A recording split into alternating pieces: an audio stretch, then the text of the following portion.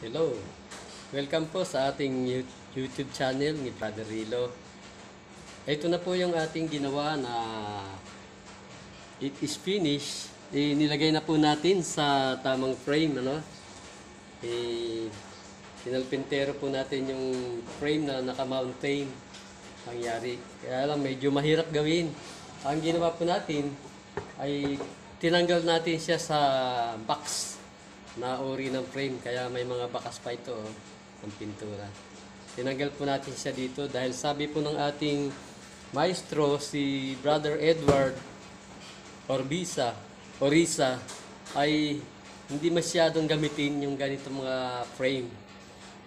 Kaya sabi ko, uh, magka-sacrifice tayong bumili ng mga ginagawa pong kornisa. Ito po, oh, may korte na siya, may design.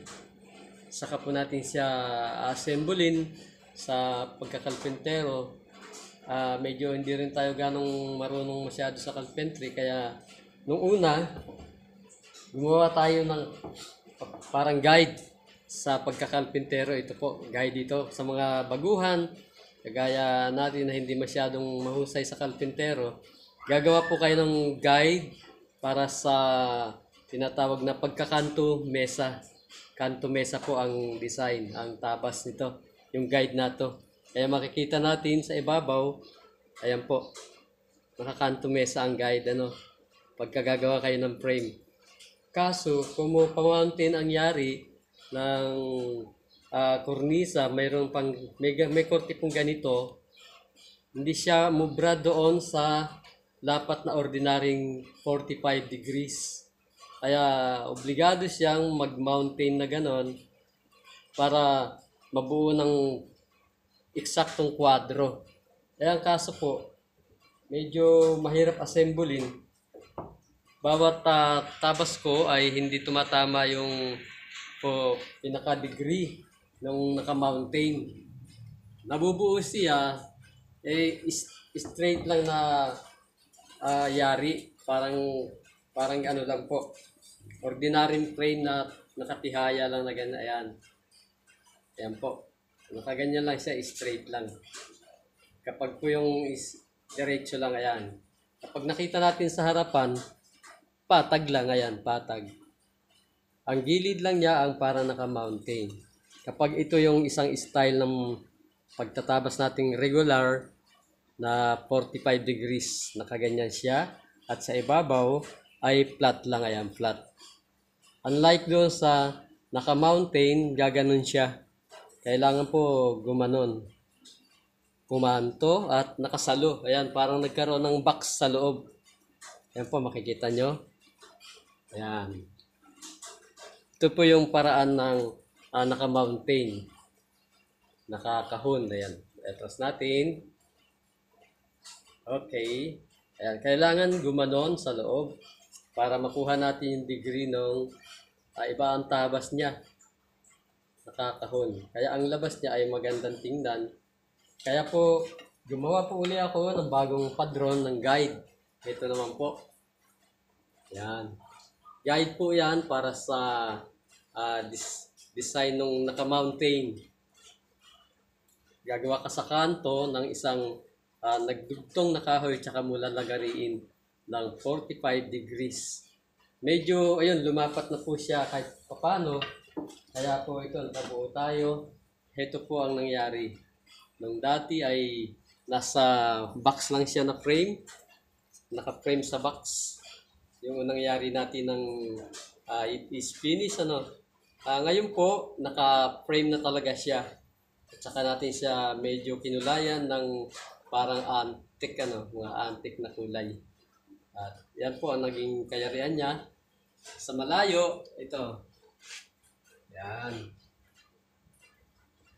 Ito na po ang kayarian ng ating pang-apat na design na nilagay na po natin sa tamang frame. Ano? Nasa tamang frame na po siya ngayon. Tsaka po natin lalagyan niyo po sa likod ng pinaka-sabitan.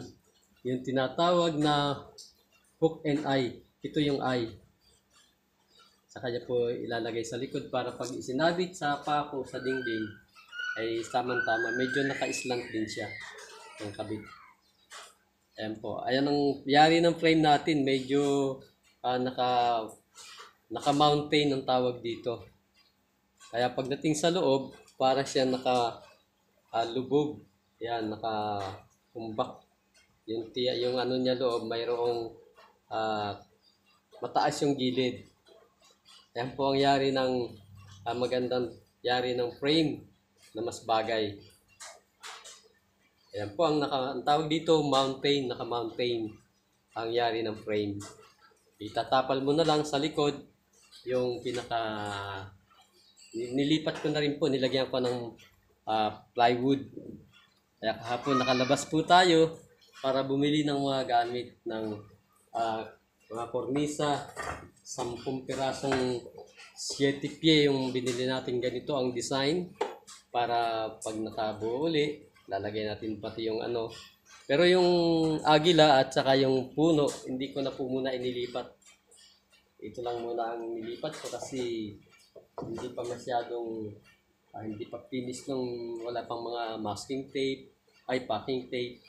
Kaya ito lang po, sinubukan ko magbuo ng frame ng ah, yari ng kornisa, ano, yung ginagamit sa kesame na mga finished product na po yun. Bibili nyo.